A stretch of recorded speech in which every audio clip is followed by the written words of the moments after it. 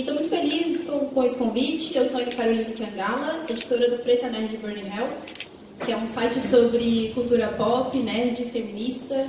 É, e essa aqui é uma, uma mesa muito importante para a gente. A Friosa é uma mesa anual e é um momento em que a gente pode juntar e conversar sobre representatividade feminina na cultura pop com viés é, crítico, né? Que é uma coisa que está cada vez mais importante, que a gente sente cada vez mais essa ânsia. E aqui nessa mesa só pessoas maravilhosas, incríveis, que eu admiro demais, um trabalho incrível, todas quadrinistas. Então a gente vai focar nesse rolê do quadrinho. É, eu queria que vocês se apresentassem, por favor. Meu nome é Cintia Sati, eu sou ilustradora e quadrinista e atualmente trabalho com animação, né? Faço props e personagens para séries infantis, como Show da Luna e Cantando com Ping Pong. É, meu nome é Clarice França, eu sou editora do Nebula, o site de cultura pop, e eu também sou escritora e roteirista. Oi, gente. É, meu nome é Brenda Maria, eu sou lá de Fortaleza, é, eu sou ilustradora, trabalho com design gráfica e é isso.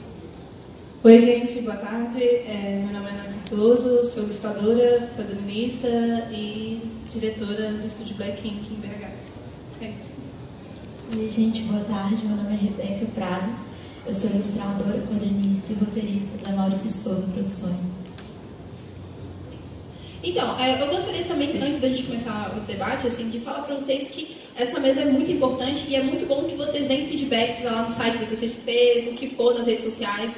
Falem dessa mesa, porque a gente precisa manter esse espaço aqui, beleza? Posso contar com vocês com essa ajuda? Fechou?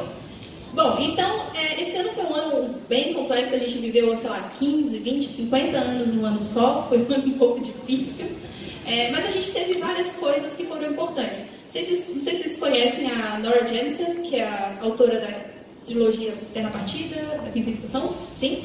E que ela falou assim, que era mais importante a gente comemorar as pequenas vitórias, né? Cada passo, assim. Então, considerando isso, vocês poderiam falar um pouco sobre o que, que vocês consumiram esse ano de bom e o que, que vocês produziram de bom, assim, para a gente começar lá em cima?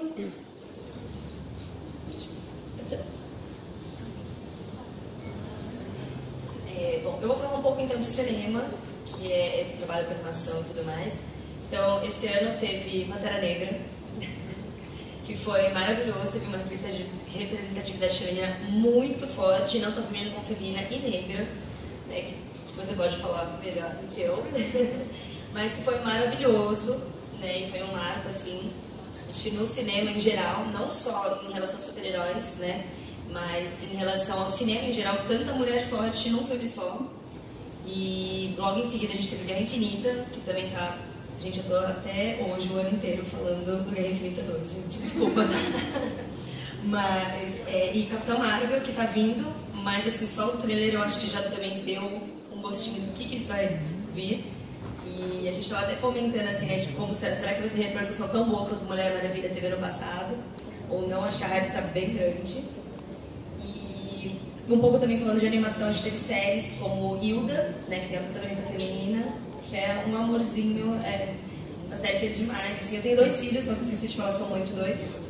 E eles adoraram as séries, né? E além disso, teve Shira, que teve aquela repercussão assim.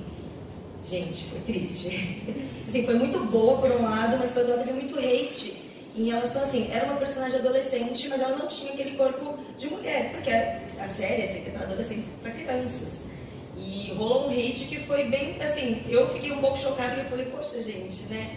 A China agora, assim, e sempre foi para crianças e adolescentes, mais que a gente goste, né?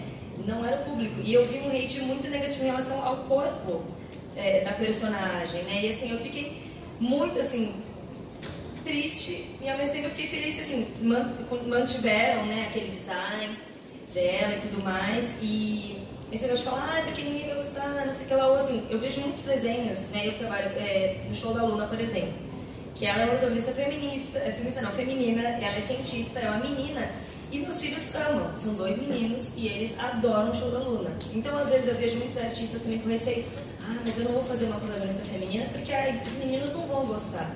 isso não é verdade. Né? Eu vejo pelos meus filhos mesmos, eles assistem, eles adoram. Tem também, é, se não me engano, Nick Jr. tem nela a Princesa Corajosa, que é uma princesa negra, que ela é uma princesa, mas ela é uma cavaleira também. Então, e eles amam, assim, eles adoram, né? Então, assim, essa coisa do gênero, eu acho que está muito mais enraizada na gente e a gente passa para os filhos e, e adiante do que vender. Eles não vêm, né? Porque os meus, assim, eles não... O meu filho mais velho, ele assiste um desenho chamado Shimmer Shine, que, assim, são... É, é, elas são meio fadas, meio gêmeas e tudo mais. E eles gostam, então, assim, não tem essa diferença, né? E só para não estender muito, eu vou falar um pouco sobre as minhas produções desse ano que eu sou academista e eu faço tirinhas maternas é, dos meus filhos, que é o Maternidade Sincera, que eu posto no Instagram maternidade.sincera. São tirinhas curtinhas do dia a dia materno, dos meus malabarismos, com um pouquinho de humor e amor. e também estou lançando um artbook chamado Ritual, que é sobre rituais de dança e máscara ao redor do mundo. É, bom, você já falou de Pantera Negra e também teve Xirra, que eu, eu acompanhei muito essa parte do hate, porque você viu muito sobre Xirra e a galera caiu em cima mesmo antes da Xirra ser lançada. Mas eu também queria falar de uma série que saiu esse ano de animação também chamada Dragon Prince, que apesar do trio principal ter mais meninos, é muito legal na representação. É, as meninas são bem representadas, os personagens eles têm várias camadas, é muito interessante. E, bom, não é desse ano, mas eu acompanhei muito, com muita força Steven Universe esse ano, que é maravilhoso. E também eu queria aproveitar para falar um pouco de jogos que a gente teve pela primeira vez, eu acho, a Ubisoft se tocou de que é bom fazer Assassin's Creed com mulher. E agora a gente pode escolher é, se o nosso protagonista é homem ou mulher, e a Cassandra é com certeza muito melhor que o Alexis. E, e o jogo tá muito bacana, tipo, e ele não. Que as pessoas falam também é essa mesma coisa, tipo, ah, jogo com protagonista mulher não vende. E é mentira, porque o jogo foi um sucesso, vendeu muito, tirou todas as melhores notas e muita gente está jogando com ela, então foi incrível, assim, uma empresa que tem tanto problema com isso, finalmente. Sobre as minhas produções, eu comecei a postar meu web novel de fantasia urbana no Nebula, chamada Guardiã do Sonhar, inclusive a capa tá aqui, do primeiro capítulo. E eu também participei de uma coletânea de, de história em quadrinhos chamada Gibi de Menininha, que está em algumas mesas do Artizelli, se vocês se interessarem, que são histórias de terror. E para provar que mulher também escreve terror em qualquer coisa que a gente queira.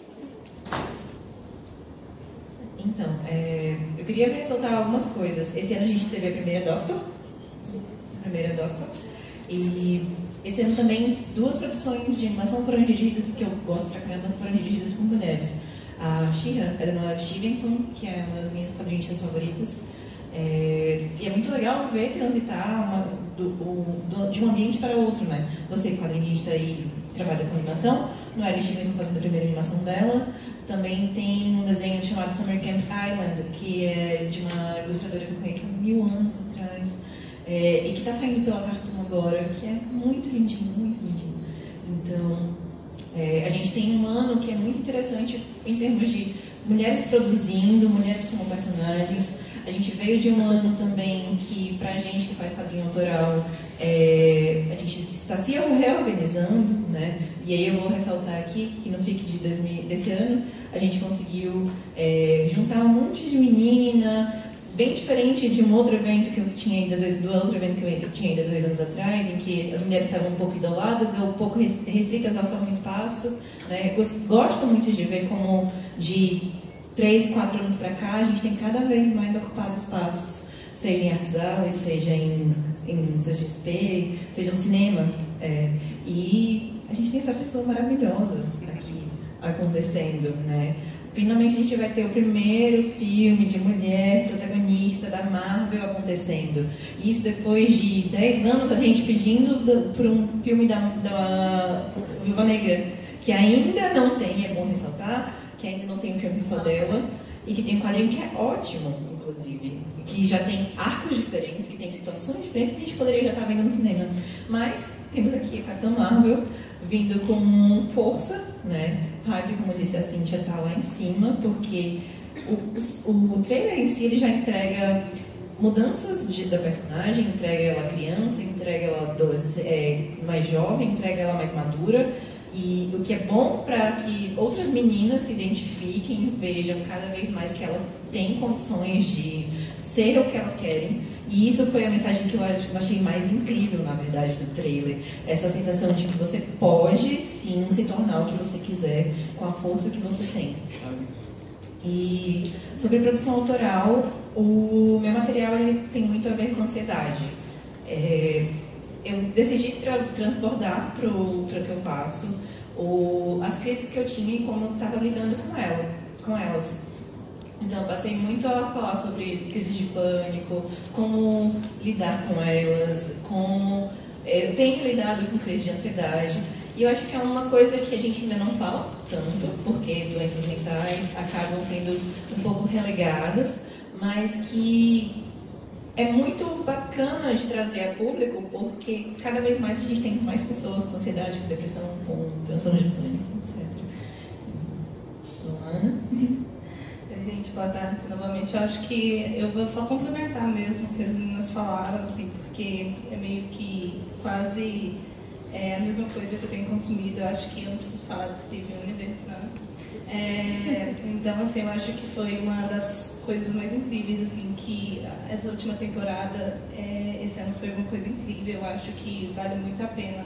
É, quem ainda não assistiu, comece a assistir, os episódios são bem curtinhos, assim, a gente consegue marcar as temporadas assim, bem rápidas, né? É, mas tivemos também tipo Pantera Negra, é, eu vou falar de um, como a maioria dos meninos falaram de Hilda, Shira também, que são séries que, também que eu acompanhei, que eu também falo assim, gente, são maravilhosas, assistem. É, assistam. É, eu vou falar de uma, um filme da Netflix também que eu fiquei impressionada, que é Aniquilação, né, que são, é um filme com mulheres cientistas e pesquisadoras que eu achei assim um filme incrível, com muita representatividade e um filme é, de ficção científica assim, incrível. Né? Eu achei assim um dos filmes que eu mais gostei de ver esse ano. E eu gostaria de falar assim também de Sabrina. Eu acho que é, Sabrina, tipo, você está na hype agora, né, nesse momento, é uma série assim, que trouxe também bastante diversidade, discussões que eu acho bem relevante. E eu acho assim, em relação à minha produção de quadrinhos, é, a, eu lancei em 2013 um quadrinho que chama Ripet, né? E eu decidi seguir mais ou menos a mesma linha, porque eu comecei a, há um tempo atrás refletir sobre essa questão tipo, da adoção e é, a compra e venda de animais, mas aí nessa segunda história eu quis trazer uma outra reflexão que seria a respeito da perda, né? porque às vezes a gente adota um animal, a gente esquece que ele vive menos que a gente. Mas só que eu pego um outro ponto de vista, né? Porque a gente sempre espera que. Calma, gente, o quadrinho ninguém vai ficar chorando. Meu quadrinho também não, tá? Não é essa coisa. Tipo, é um quadro mais reflexivo do que um drama mesmo é, pelo ponto de vista do animal que perde o dono também, né? que a gente nunca espera um, um, outro ponto de vista a respeito disso e como que a família assume a responsabilidade de um outro ser que tinha um outro dono, que tinha um outro companheiro, como que isso é, pode ser discutido dentro do, dos conflitos entre pessoas e os animais é, domésticos. Né? Eu acho que é isso. Uma olhada, acho que Pantera Negra, é, Sabrina foi uma série que, que eu devo assim, assistir numa sentada só. É, Hilda, que é incrível, é maravilhosa, é envolvente, é aconchegante, é a coisa mais linda. É, eu assisti também uma série australiana chamada Miss Fisher, e é uma série que eu achei excelente como apresentação de uma personagem feminina, empoderada e dona, senhora de si mesma, e livre e, e, sexualmente ativa e dona das próprias decisões. Eu gostei muito, assim. É, eu também eu tenho consumido muitos quadrinhos de quadrinistas latino-americanas, então eu tenho consumido muito a, a Sol Otero. Ela tem um quadrinho muito legal chamado Ponte Fue e fala sobre relacionamentos abusivos, é incrível. É, a Power Paola, que estava no, no FIC, fez uma mesa com a gente, né, Brenda? E ela tem dois quadrinhos, ela tem alguns outros, mas tem dois especiais que é o QP, que ela conta das histórias dela com um ex-namorado dela de um jeito muito honesto, muito cotidiano. E o Vírus Tropical, que inclusive virou uma animação muito massa e que ela conta sobre várias passagens da vida dela de um jeito extremamente honesto e criativo e, e dinâmico também. É, sobre a minha produção, esse ano, depois de dois anos sem produzir zero material autoral, eu voltei com um, um quadrinho. E eu mudei um pouco a minha percepção de algumas coisas. Eu, eu, inclusive, outra coisa que eu consumi esse ano que mudou muito a minha forma de trabalhar foi o stand-up da Hannah Gadsby, e que é incrível. E eu é, nossa, ele é impressionante, assim, ele me fez olhar para o meu próprio trabalho de outra forma, porque eu trabalhava muito com o humor autodepreciativo de um jeito, enfim, a, na minha vida é um roteirista de sitcom ruim. A mas eu não psicóloga né? falou que uma vez para mim, justamente sobre o humor depreciativo, que às vezes muito que a gente escreve sobre a gente é uma maneira muito distorcida, né? E quando a gente faz, se autodeprecia, a gente acaba passando para o leitor uma, uma visão muito torta de quem a gente é, não é não? É, assim, eu, eu brinco com os meninos que a minha vida é escrita por um roteirista de sitcom ruim. Mas assim, não é porque isso acontece que eu tenho que piorar a situação. Né? Então eu, eu decidi rever alguma, algumas formas que eu trabalhava e aí eu fiz um quadrinho novo que ainda, ele, ele eu acho que é o trabalho mais honesto que eu já fiz e, e o meu favorito, inclusive. E ele tem outra, ele, ele conversa com o que eu fiz até hoje, porque eu não sou outra pessoa, né? Se a gente não, não reseta e virou outro, quem me dera. Mas eu, eu revisitei algumas coisas de outra forma. E também agora em outubro teve um trabalho legal que eu participei, que foi uma parceria da MSP com a ONU e o Instituto Avon, onde eu fiz várias tiras sobre empoderamento feminino. E aí eu fiz, nossa, foram 21 tiras e eu fiquei muito feliz de ter participado com a turminha, sabe? Que é algo que chega nas pessoas, que é algo que, enfim, molda muita gente, né? Então foi bem divertido de fazer também. Foi um pouco assustador porque era grande. Posso pegar um gancho? É, falaram aqui de duas coisas. Aliás, a Ana falou sobre Sabrina, mas e eu queria muito ressaltar algumas coisas, mas antes disso, é, como a gente começou falando de animação, eu fiquei lembrando de como as animações hoje em dia têm falado cada vez mais sobre coisas do nosso universo real, né? E aí, é, algumas animações que estão disponíveis na Netflix hoje em dia, tipo é, Cupcake Dino, uh, Star, Star vs as Forças do Mal, que entrou recentemente agora, tem falado sobre inversões de papéis, sobre desconstruções do que a gente entende sobre gênero, né? Com a, o Marco sendo Princesa Marco em algumas situações, com a mãe da, da, da Star, que é uma rainha, que a gente tem todo aquele estereótipo de rainha, não me toque, etc. Mas que na verdade é uma guerreira que está, spoiler, quem não viu a última temporada, é, que é uma guerreira que está muito à frente do, da, do movimento libertário de Milne, né? E isso tem trazido para as crianças e para a gente, que adora animação também, uma perspectiva diferente sobre real caminho que a sociedade deveria estar se direcionando, né? Uma questão mais igualitária, onde cada um é uma caixinha, que todo mundo é aberto para outras coisas e para outros entendimentos. E eu só fico cada vez mais apaixonada por essas, essas animações novas. E aí a gente entra em Sabrina e traz é, culturas diferentes, perspectivas diferentes sobre bruxaria para dentro da série, né? perspectivas diferentes sobre culturas diferentes também, que a, a, tem uma coisa que eu acho muito sensacional, é como a personagem, a melhor amiga da Sabrina, tem uma história com a, com a avó, tem uma história de família, é, que vai remeter a Nova Orleans, que vai remeter a, a, uma questão mais cursed, né? mais de, de maldição, e a gente sempre vê a perspectiva de bruxaria pelo lado eurocêntrico, né? E aí traz esse outro olhar para a gente começar a ver outros tipos de cultura. Sim. Assim, é muito interessante olhar por esse lado, assim, e Sabrina é uma, uma série que é muito hypada, que a gente tem, todo mundo pensa muito, né, com, que ia voltar de uma maneira, assim, Só que aí, para quem não acompanhava Sabrina pelos quadrinhos, por exemplo, é um grande problema a questão do Salem e do primo, né? Assim, que, que dá pra gente que é dos anos 90 e que acompanhava pela TV, uma sensação de que a personalidade humana foi transformada numa personalidade, é, ah, perdão, o contrário, né? O animal foi, foi transformado em humano com o valor mesmo de, de animalização, que, né, que é uma questão que até devolvo para vocês, assim, perguntando que, assim, bom, esse foi um ano maravilhoso em termos de, de representação, assim, se a gente for pensar com, com o ano passado, né? A gente teve uma representação maravilhosa de mulheres na é, Pantera Negra, mas a gente teve uma quantidade em tela muito pequena. A gente teve é, para todos os, os, Garotos que Amei, que é uma série maravilhosa, é um filme maravilhoso também, com, com alguma, algumas questões, e aí, assim, muitas questões, né? Tava sendo simpática. E aí, assim, é, a gente tá entre o filme da Mulher Maravilha, que já errou em várias coisas, acertou em várias coisas, e Capitã Marvel, qual que é o, a perspectiva de vocês? Assim, o que, que vocês pensam que a gente precisa agora dar um passo em relação à representatividade feminina? Porque, assim, a protagonista ser uma, uma mulher branca e loira, assim, não é o, o grande problema, assim como o, é, o Punho de Ferro ser branco não é o grande problema da série do Punho de Ferro, né?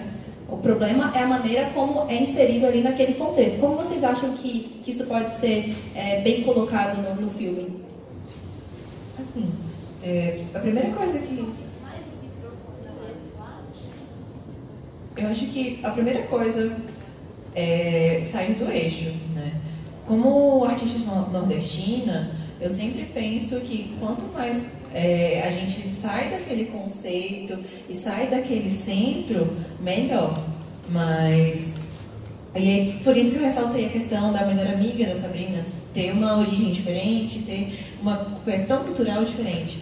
É, eu acho que o primeiro ponto é isso. Sair da, daquele entendimento de que só ter uma mulher loira já está empoderando todo mundo.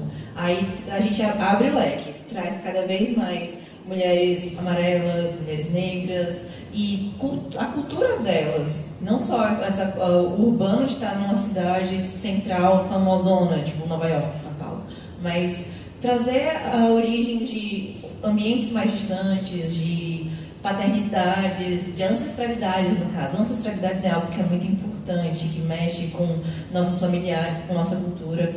Eu acho que a part... esse é o primeiro pontapé. Não, aproveitando que você falou isso, eu estava pensando que às vezes quando as pessoas fazem filme de uma super-heroína ou de uma mulher como protagonista, às vezes é tipo ela e todos os outros homens aqui, variados, sabe?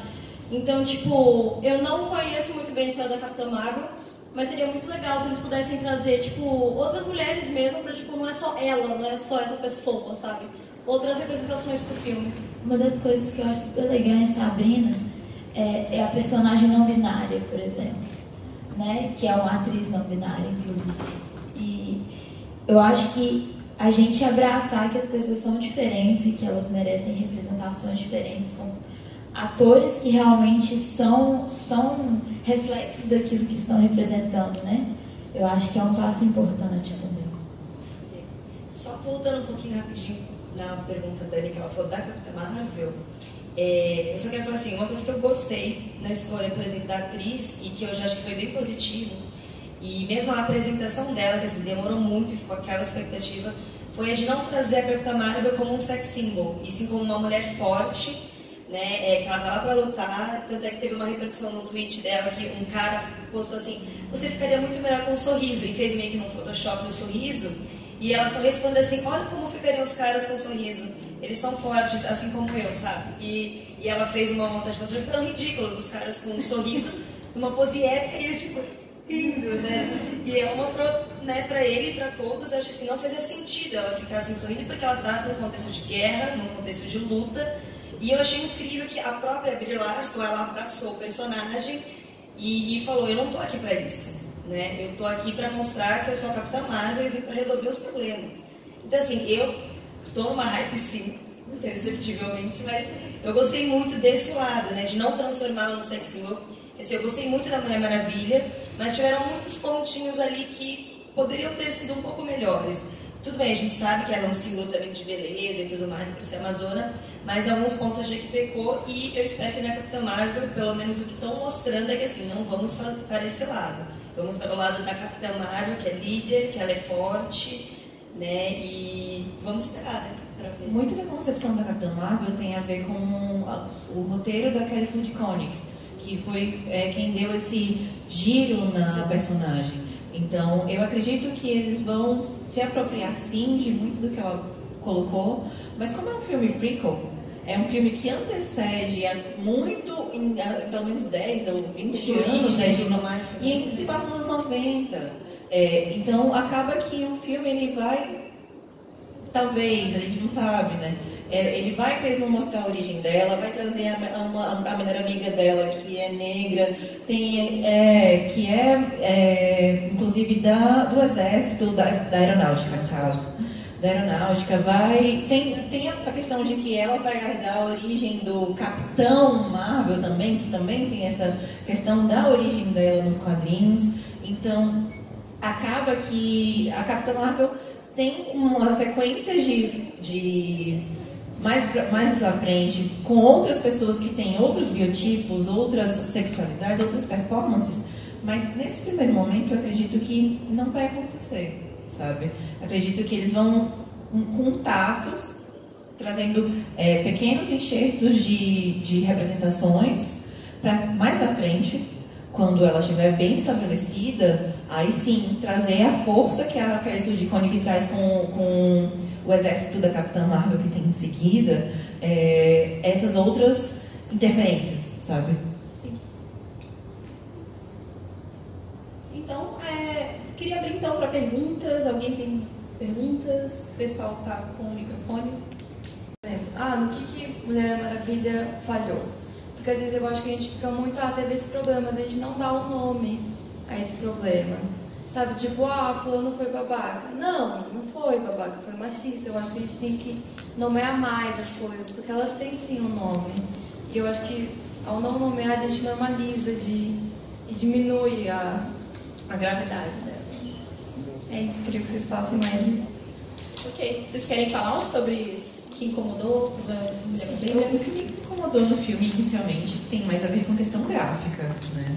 É, a construção da personagem ela é interessante para mim, como filha de mãe que era louca pela, pela Mulher Maravilha dos anos 70.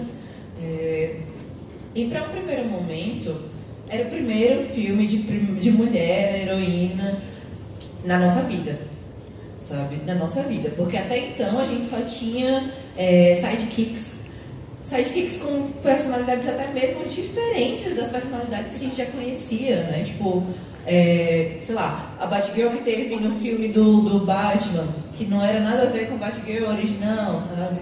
Então, esse primeiro momento eu achei mega interessante trazer, trazer essa perspectiva. Aí vai, a gente vai para os erros históricos, né? Vai para aquela questão dela com o boy, vai para aquela invasão bizarra que acontece lá na ilha, vai, mas, é, mas isso é uma questão de roteiro, foi de roteiro, né? É, e aí o que me incomodou mesmo foi coisas do filme, né? Questões técnicas. Produção, é, o final do filme me deixou incomodada por conta dos efeitos que são meio ruins, os efeitos da DC, gente. Desculpa se vocês gostam de DC, eu adoro DC, mas venhamos e convenhamos. E, e eu achei que foi muito, muito bom. Na verdade, saí do cinema inspirada, sabe? Eu saí feliz de ter aquele primeiro momento alguém representando finalmente uma parcela de que queria filmes de mulheres. Vocês querem falar um pouquinho mais sobre a parte política, assim, do, do problema? É, eu tenho um comentário para fazer e eu sei, assim, eu estou pedindo muito da DC, não acho que eles vão fazer isso em qualquer momento tão cedo. Não vão. Mas assim, a gente não sabe o que é mais não. bissexual. E quantas protagonistas mulheres bissexuais a gente conhece? Eu, eu vou, tá, vou me esforçar aqui para pensar em algumas, se eu for começar a listar.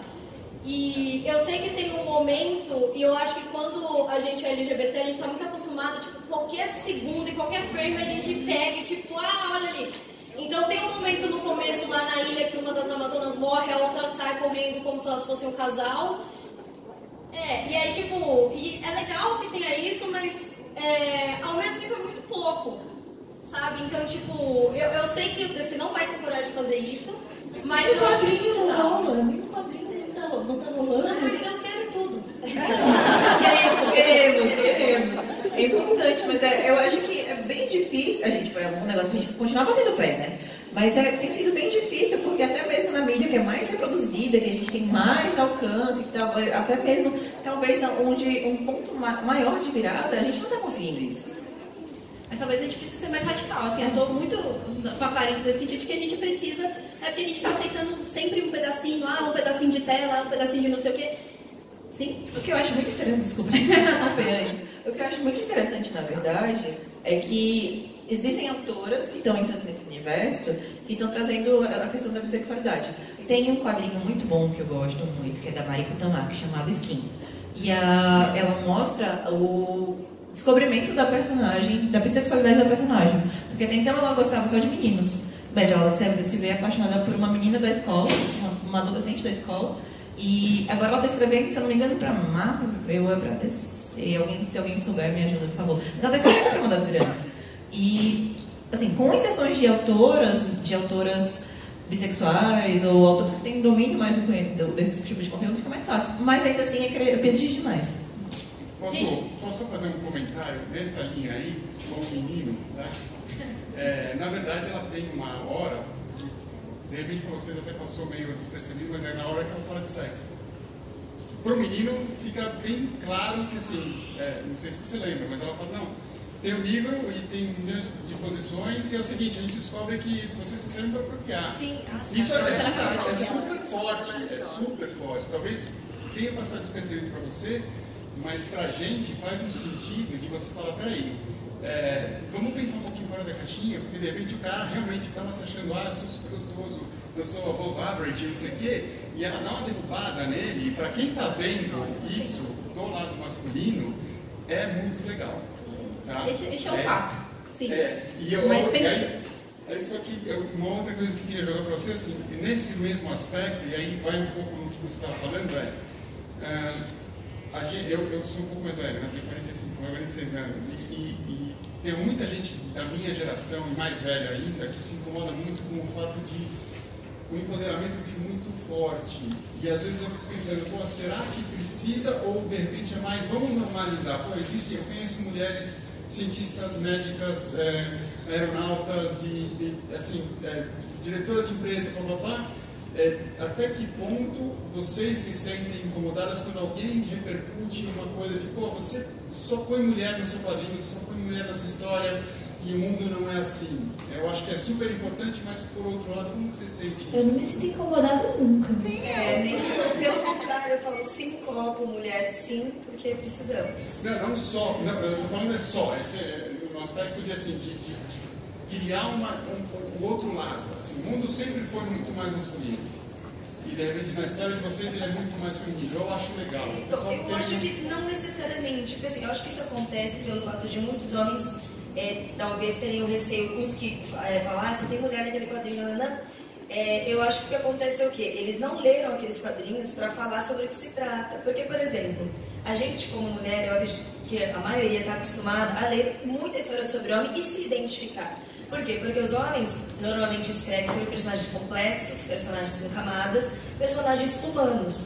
E nós também, quando escrevemos sobre mulheres, também escrevemos personagens com camadas, personagens complexas.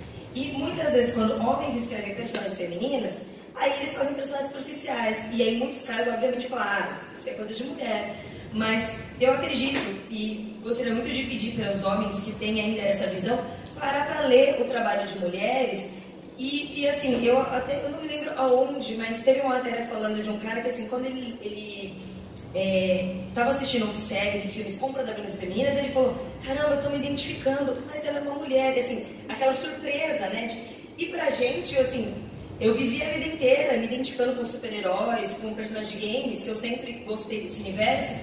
E quando eu fui ver que isso não é coisa de menina, né, quando você vai crescendo, eu falei, por que não? Eu me identifico com aquelas histórias, por que, que isso não é coisa de mulher, né, coisa de menina? Não tem por que não ser.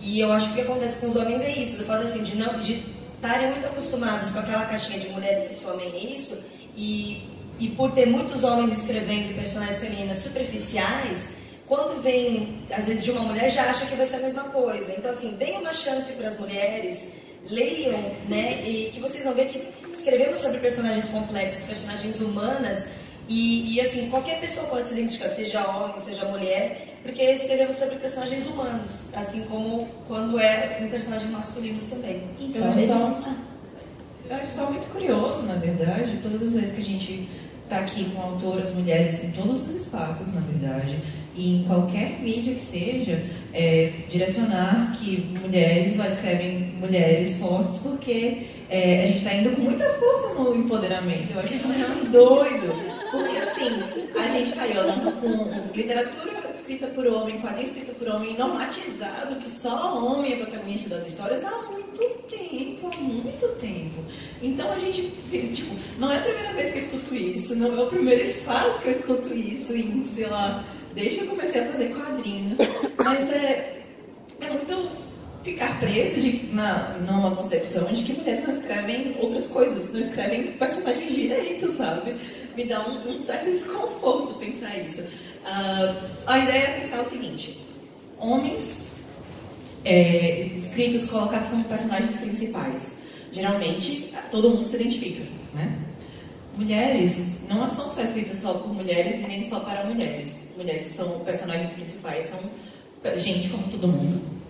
Somos humanas como todo mundo, pensamos como todo mundo e ocupamos mais espaço em cargos e em todo o mundo, em todo o mundo, sabe? Para onde você vê, nas universidades, por exemplo, a maioria das mulheres, aliás, a maioria dos estudantes são mulheres, no mercado de trabalho a maioria são mulheres. Então, por que normatizar a ideia de que mulheres se escrevem para mulheres? Porque mulheres só, são empoderadas por... Não, gente. É... Eu tenho para mim que cada vez que a gente tem uma nova onda de feminismo, né, que nem essa nossa terceira onda de feminismo que começou a acontecer com força há três anos, quatro anos atrás, é, as pessoas se sentem acuadas. Né? Porque a gente está aqui, a gente está dando voz, a gente está dando vez, está colocando cada vez mais gente no palco, no palco, não holofotes. E a galera fica com medo, com medo de pensar, nossa, peraí, elas vão pegar meu espaço. É, a ideia do, de perder o seu posto é assustadora. Mas não, a gente não a, a gente está aqui porque a gente quer ser igual. Porque a gente quer que todo mundo seja igual, que seja reconhecido de maneira igual, seja independente de raça, gênero, opção sexual, é, lugar onde vive, principalmente também, né? Então, gente, só passem nas nossas mesas, reconheçam o nosso material, é, provavelmente vocês vão gostar. Então, é, existe uma coisa que acontece que é o seguinte. Uma coisa é ser forte, eu concordo plenamente que aquela cena da Mulher Maravilha foi muito forte. Uma coisa é ser forte é completamente diferente de uma coisa ser suficiente. Né? Uma migalha grande ainda é uma migalha. Entendeu? Então, é, a gente não. É pouco. É bem pouco. É, e eu também queria voltar no assunto da Mulher Maravilha, que teve a cena que, que você falou, e não me passou batido de forma alguma, até porque tudo que eu quero é ter representação de mulheres bissexuais, mas a gente nunca vê esse tipo de grande migalha, como a Beca falou, quando são pessoas héteros. Isso nunca acontece, nunca é só um comentário. É sempre toda uma cena, é sempre toda uma coisa, e, tipo, é, é isso, é muito pouco. Tipo, você tem uma insinuação de um personagem gay e se a comunidade LGBT não aceita, de repente, tipo, ah, mas vocês estão querendo demais. Não, a gente só quer ser representado como todo mundo, assim como mulheres, e essa coisa, tipo, ah, é muito louco, né? Falar, tipo, essa história só tem mulheres, aí você fala Senhor dos Anéis, uhum. primeira trilogia de Star Wars, sei lá, né?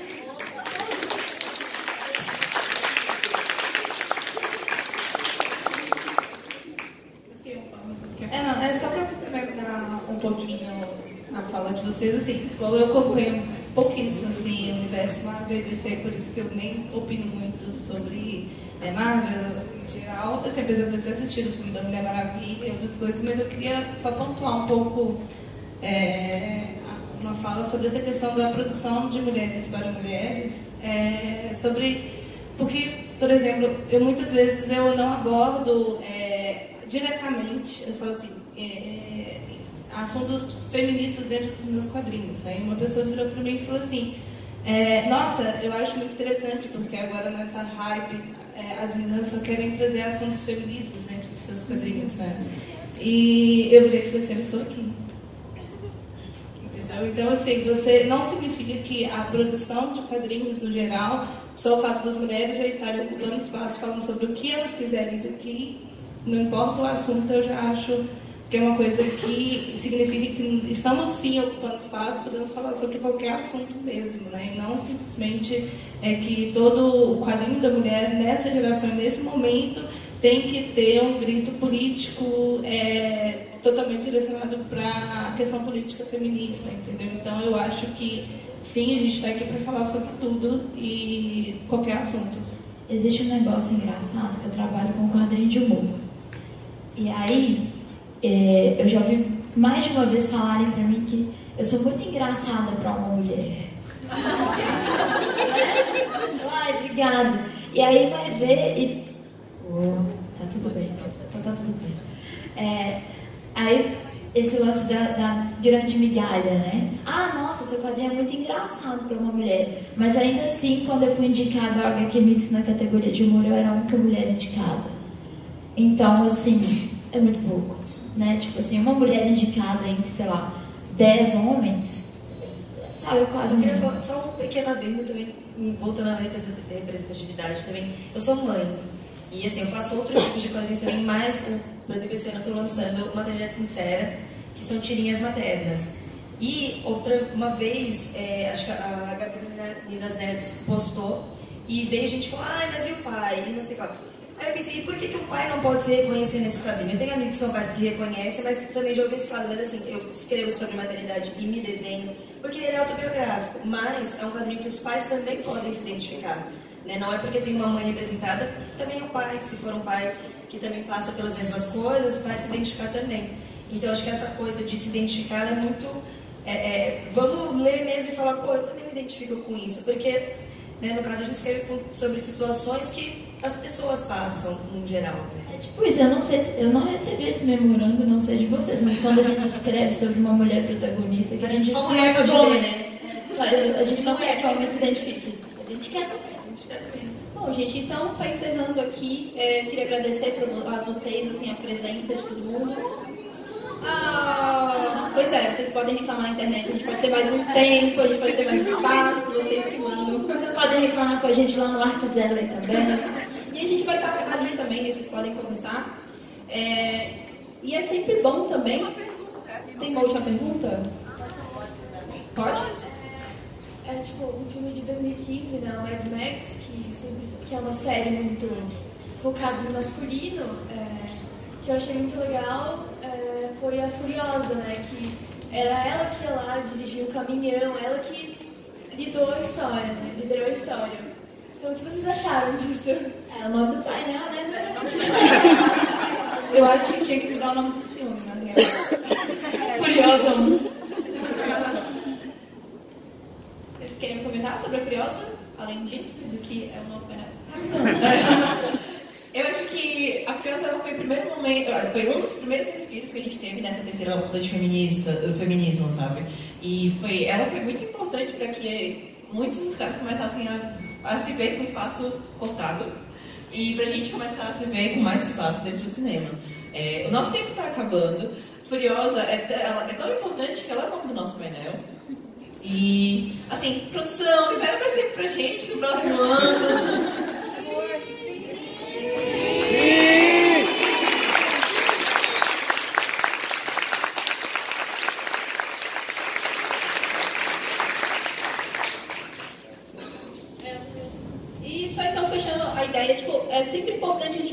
mais sobre é, o lugar de, de pessoas diferentes da gente na mídia, né? Então, assim, em vez de da gente pensar, estamos perdendo espaço ou estão roubando nosso espaço, seria muito interessante você procurar personagens. Tem personagens incríveis, sei lá, Kamala Khan ou o novo Homem-Aranha, sabe? E acho que as pessoas estão perdendo muito tempo brigando com coisas e pesquisando menos. Então, eu queria que vocês falassem um pouquinho sobre a, as mesas, né, o número, da onde encontram vocês na internet. Eu sou arroba pretnerd e www.pretnerd.com.br. É, vocês podem me achar é, no meu Instagram, Cintia com TH, é, Cintia Sati, Cintia com TH, Sati, S-A-T-Y. E eu tô aqui no Artist Alley, na mesa H39. Tem um pulinho lá, gente.